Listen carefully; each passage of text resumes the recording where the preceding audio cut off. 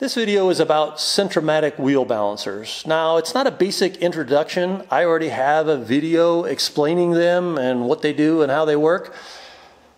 But I'm going to kind of go into an advanced class here and show some balancers that might work for some larger tire and wheel applications.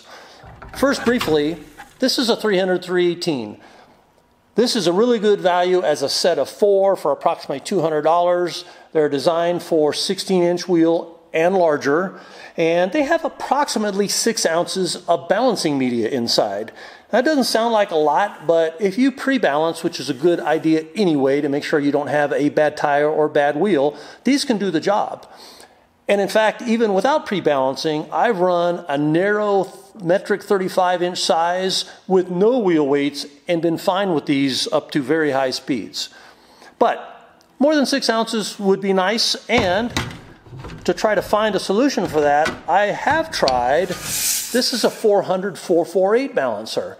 Now, this is designed for 17 inch wheels and larger, and it really is a dual rear wheel balancer. Fitting bigger balancers can be a challenge, particularly in the front. You need to clear, obviously, the wheels, but you also need to clear the brakes, and clearing the brakes on the front axle is generally more challenging.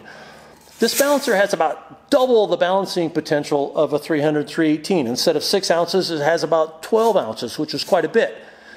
Works great on the rear. I actually run them on the rear of my single rear wheel trucks, but I'd like to have more than 6 ounces of balancing potential on the front axle.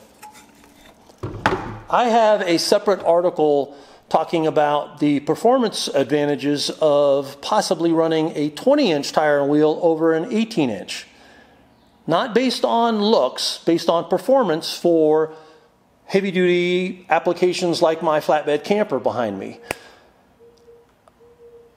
After running a 20 inch wheel for several months, the light bulb went on, and I said, wait a minute, I've got all this extra wheel clearance. If I can just clear the brakes, maybe there's a balancer that would work for my fourth generation late model Ram trucks.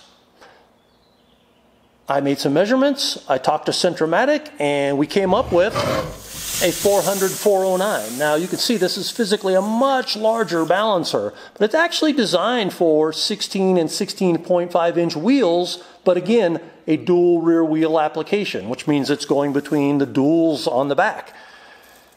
Because of the larger 20 inch wheels that I'm running, this actually fits in the wheel and it clears the brakes in front. So now I've got 16 ounces of balancing potential with a balancer like this because I'm running a 20 inch wheel. Pretty cool.